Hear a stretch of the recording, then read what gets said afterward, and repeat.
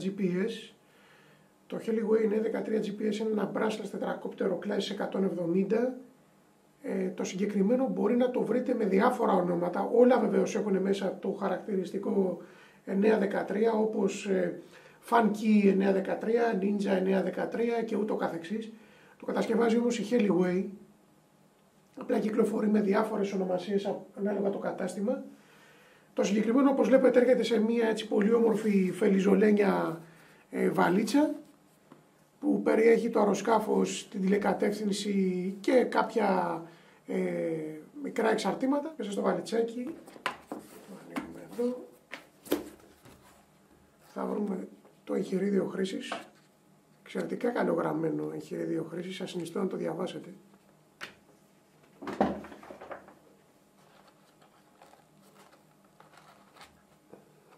Το τετρακόπτερο.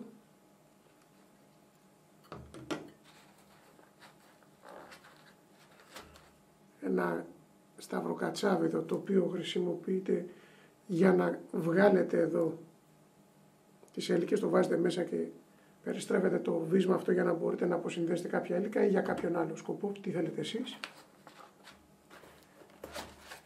Την τηλεκατεύθυνση. Ένα σετ με έξτρα έλικες, τέσσερις. Ένα USB σε micro USB καλώδιο και την μπαταρία. Το 913, όπως είπαμε, ένα bracelet τετρακόπτερο, κλάση 170, δηλαδή η απόσταση από μοτέρ σε μοτέρ είναι 170 χιλιοστά. Ε, εξαιρετικά ελαφριά κατασκευή, είναι 209 γραμμάρια μαζί με την μπαταρία. Οι έλικες που χρησιμοποιώ, όπως βλέπουμε, είναι τρίστερες τριών ιντσών, αν θυμάμαι καλά, είναι 30-52 από ό,τι λέει εδώ είναι η διάσταση. Στο πίσω μέρος έχουμε εδώ την υποδοχή για την κάρτα microSD, θα πρέπει να βάλετε τη δική σας, δεν έρχεται με μια κάρτα. Ε, υποστηρίζει κάρτες μέχρι 32 GB. Τα μοτέρ είναι 1306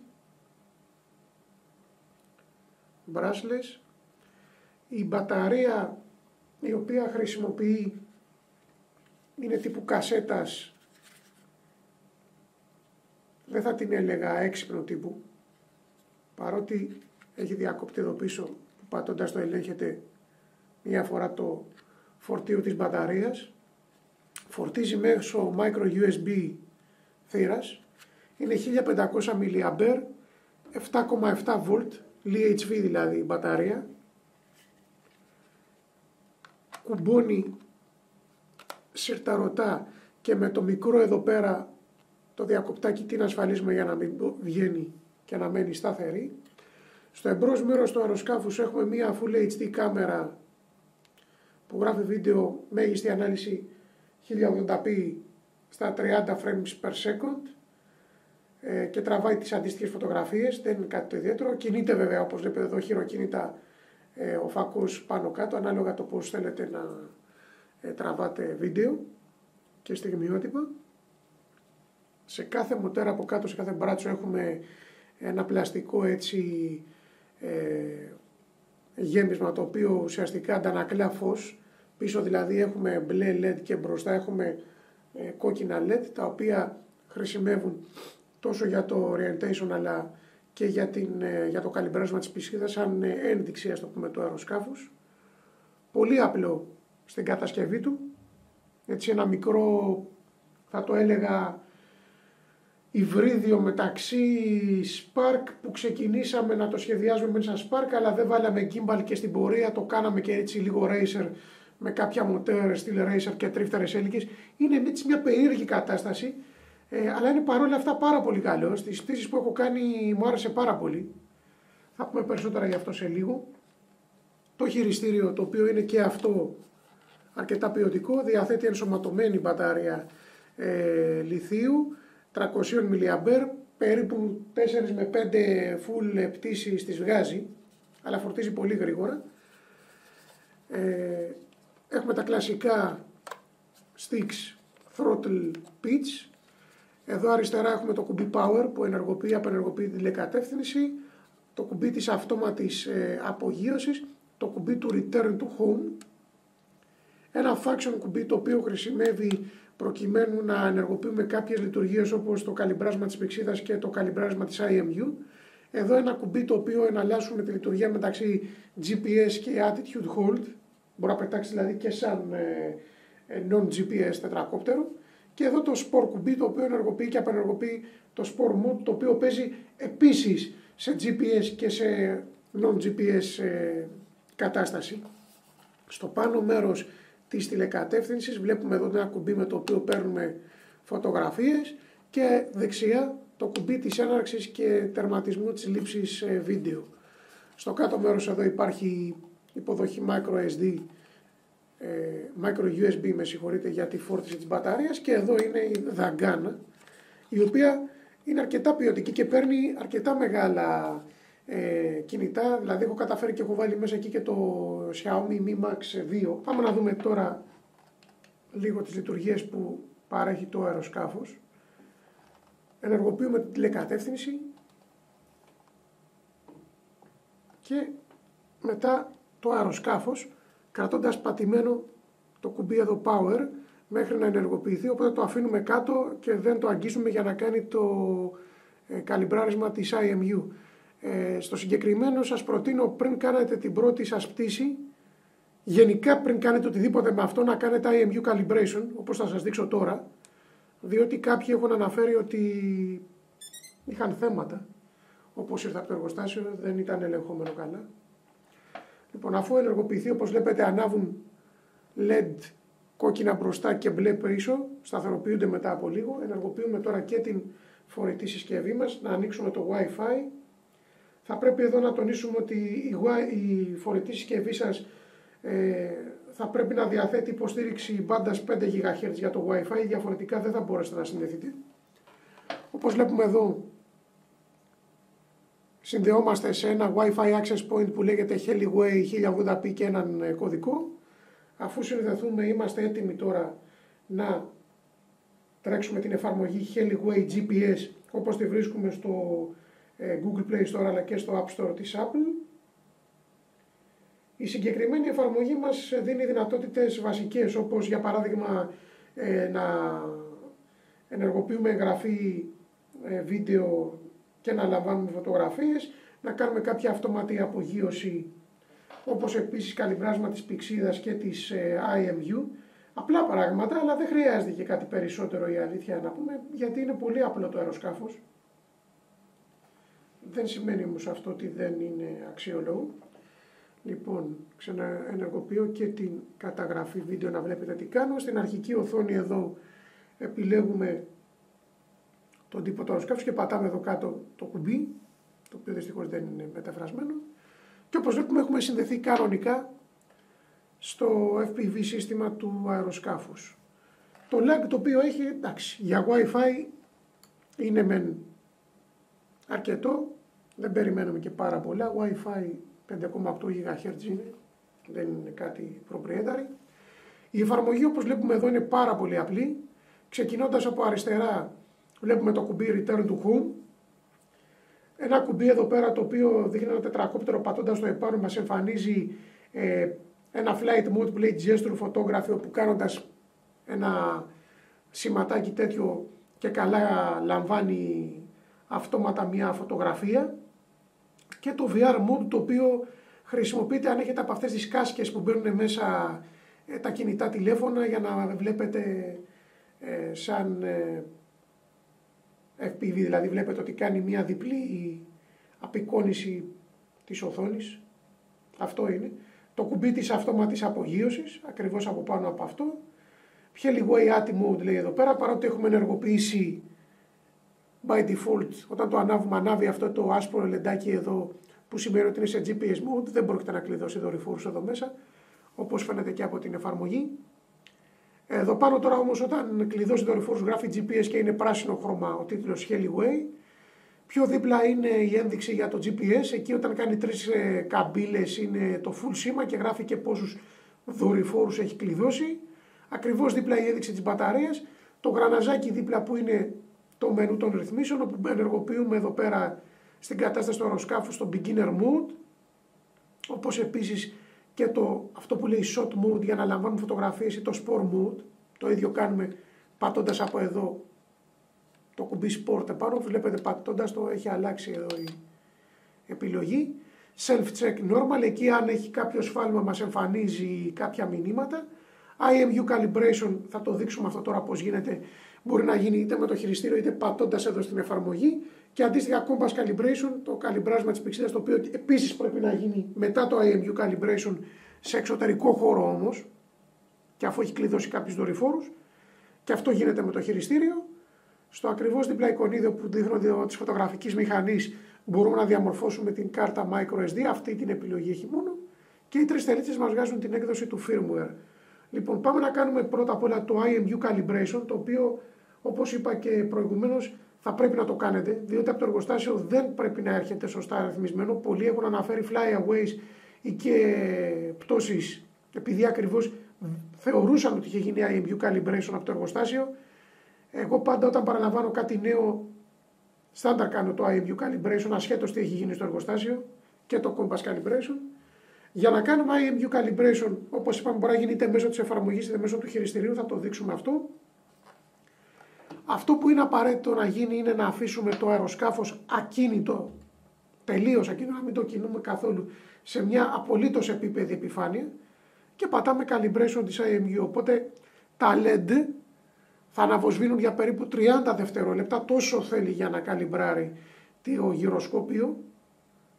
Επαναλαμβάνω, δεν το αγγίζουμε το σκάφος σε αυτό το διάστημα, περιμένουμε μέχρι να σταθεροποιηθούν, οπότε έχει ολοκληρωθεί. Πατάμε το IMU calibration, μας βγάζει εδώ και κάποιες οδηγίες. Αυτά δηλαδή ακριβώς που είπα ότι δεν πρέπει να το ε, κινούμε κατά τη διάρκεια της ρύθμισης, αλλά και να είναι και σε απόλυτα επίπεδο έδαφος. Πατάμε εδώ start. Calibrating, βλέπετε ότι τα LED αναβοσβήνουν, παίζουν έτσι κυκλικά, περιμένουμε. Θέλει περίπου 30 δευτερόλεπτα για να κάνει το καλυμπράρισμα.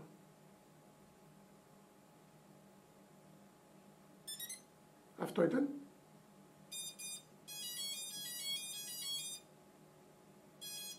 Περιμένουμε ακόμα, δεν έχει τελειώσει. Κάνει reboot τώρα στην ουσία, γι' αυτό κάνει έτσι. Περιμένουμε να σταθεροποιηθεί. Βλέπουμε ότι ακόμα στην ένδειξη της εφαρμογής γράφει calibration, calibration succeed και έχει γίνει σταθερό το LED και μπρος και πίσω, οπότε είμαστε έτοιμοι. Για να κάνουμε το καλυμπράρισμα του γυροσκοπίου, της IMU δηλαδή, με το χειριστήριο χωρίς την εφαρμογή, κρατάμε πατημένο το κουμπί F μέχρι να αναβοσβήνει το άσπρο LED. Βλέπετε ότι αναβοσβήνει. Οπότε τώρα πατώντας το κουμπί Spore κάνει το καλυμπράσμα της IMU. Περιμένουμε πάλι. Εδώ βεβαίως αν το κάνουμε έτσι δεν έχουμε ένδειξη στην εφαρμογή. Άρα θα πρέπει να βλέπουμε τα LED πότε θα σταροποιηθούν και μόλι κάνει αυτούς τους ήχους τέλος πάντων γιατί είναι πανεκκίνηση ώστε θα έχει ολοκληρωθεί. Περιμένουμε πάλι.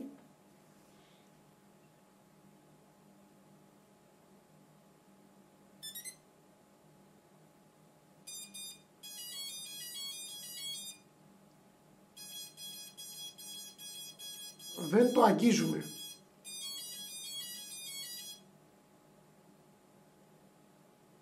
Περιμένουμε να σταθεροποιηθεί. Σταθεροποιήθηκε.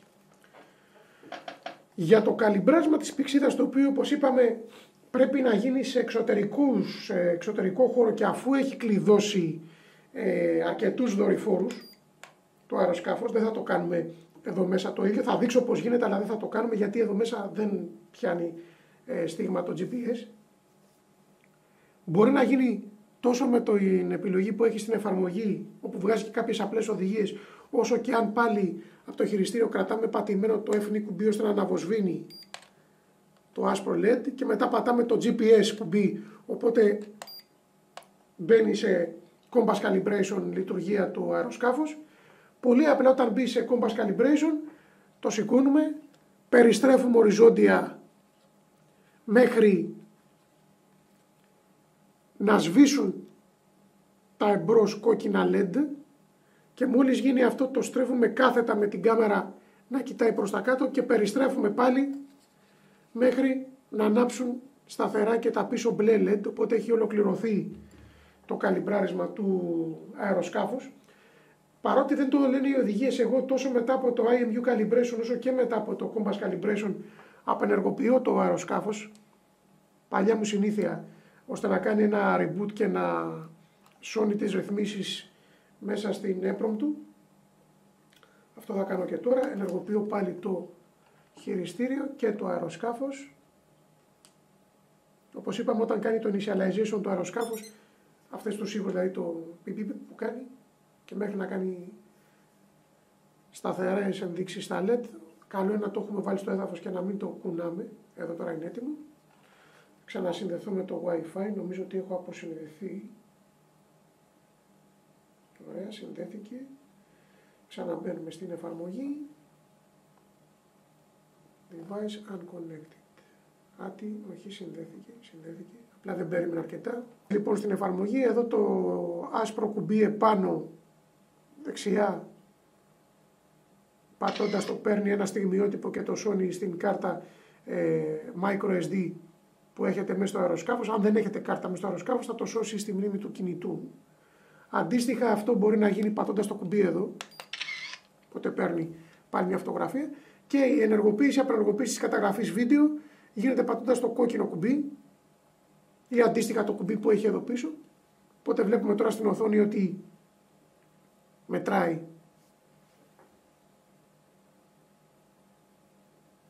Έχουμε lag, έχουμε και το wifi εδώ μέσα, έχουμε παρεμβολές. Σταματάω την εγγραφή βίντεο. Και το τελευταίο εικονίδιο το οποίο έχει στο κάτω δεξί μέρος οθόνης μας δείχνει ουσιαστικά τι έχουμε τραβήξει, φωτογραφίες, βίντεο, οτιδήποτε υπάρχει στην ε, κάρτα microSD του αεροσκάφους ή στο κινητό και μπορούμε από εδώ αντίστοιχα να τα δούμε ή να τα διαγράψουμε ή να κάνουμε και να τα ανεβάσουμε σε κάποια πλατφόρμα με το share κουμπί που έχει εδώ. Απλή εφαρμογή, δεν χρειάζεται και κάτι περισσότερο για να πούμε την αλήθεια. Είναι πολύ βασικό το αεροσκάφος. Και στο κάτω μέρος της οθόνης έχουμε κάποιες ενδείξεις τηλεμετρίας όπως την απόσταση ε, από το χειριστήριο, το ύψος που πετάει το αεροσκάφος, την οριζόντια ταχύτητα κίνησης και την κάθετη ταχύτητα κίνησης. Σε λειτουργία GPS και όχι σε sport mode, η μέγιστη ταχύτητα του αεροσκάφου είναι 3 μέτρα το δευτερόλεπτο, σε sport mode είναι στα 5 μέτρα το δευτερόλεπτο. Παρ' όλα αυτά είναι πάρα πολύ γρήγορο όσο και αν φαίνεται περίεργο, σε attitude λειτουργία εκεί φεύγει πάρα πολύ. Εκεί είναι νομίζω 8 μέτρα το δευτερόλεπτο σε λειτουργία φωτογραφίας. Τη φωτογραφία τώρα θα πάρετε αν κινείται έτσι και μην είναι σταθερό, είναι άλλο θέμα. Ενώ σε sport mode, σε attitude χωρίς λειτουργία, πάει 16 μέτρα το δευτερόλεπτο, είναι στην ουσία ένα μικρό racer, πάρα πολύ γρήγορο. Ιδανικό για παιχνίδι θα έλεγα. Τουλάχιστον όπως θα δείτε και στη δοκιμαστική πτήση, εμένα μου άρεσε πάρα πολύ γιατί δεν μου δημιούργησε το παραμικρό πρόβλημα και είναι ένα καλό αεροσκάφος το οποίο έτσι προορίζεται για απλή χρήση, για παιχνίδι. Όταν θέλουμε έτσι να ξεσκάσουμε λίγο χωρίς να ζοριστούμε πολύ. Ο χρόνος πτήσης που είχα ήταν γύρω στα 13 λεπτά, αλλά η μπαταρία φορτίζει σχετικά γρήγορα. Δεν είναι πρόβλημα αυτό. Ε, τόσο λέει και ο κατασκευαστής. Δηλαδή, είναι η πρώτη φορά που βλέπουμε Κινέζο κατασκευαστή να μην υπερβάλλει, για να μην πω ψεύδεται, για το χρόνο πτήσης σε γενικές γραμμές είναι ένα πάρα πολύ αξιόλογο ε, αεροσκάφος, μια εξαιρετική πρόταση θα έλεγα στα χρήματά της. Δεν έχει κάτι το ιδιαίτερο. Ε, λειτουργία GPS έχει για να υποστηρίζει return to home. Υποστηρίζει return to home τόσο όταν χάνει εννοείται την επικοινωνία με την ε, τηλεκατεύθυνση, οπότε έρχεται πίσω. Το ύψος το οποίο επιστρέφει είναι προκαθορισμένο στα 20 μέτρα, εκτός αν πετάτε ψηλότερα από αυτό, οπότε έρχεται πίσω ε, σε αυτό το ύψος. Αντίστοιχα διαθέτει και λειτουργία low voltage όπου όταν ας πούμε, η μπαταρία πέσει κάτω από το 30% ε, αρχίζει σιγά σιγά να προσγειώνεται. Αν θυμάμαι καλά δεν επιστρέφει πίσω, δεν το δοκίμασα κιόλας βέβαια. Κάτι όμως έλεγε στο εγχειρίδιο ότι όταν η, λειτουργία, η μπαταρία είναι σε κάτω από 30% ε, φορτίο ξεκινάει, βγάζει εννοείται ένδειξη και ξεκινάει σιγά σιγά να προσγειώνεται, οπότε καλό είναι να το έχετε κοντά. Δεν είναι και αεροσκάφος βέβαια σαν μέγεθος, γιατί είναι πούπουλο, είναι 210 γραμμάρια και πολύ μικρό να το στείλετε και πολύ μακριά, δεν θα το βλέπετε. Παρ' όλα αυτά έτσι είναι ωραίο και αρκετά διασκεδαστικό. Ευχαριστώ πολύ που παρακολουθήσατε αυτή εδώ τη μικρή παρουσίαση. Παρακαλώ κάντε like και γραφτείτε στο κανάλι και θα ακολουθήσει η δοκιμαστική πτήση του αεροσκάφους. Καλή συνέχεια και καλές πτήσεις. Γεια σας.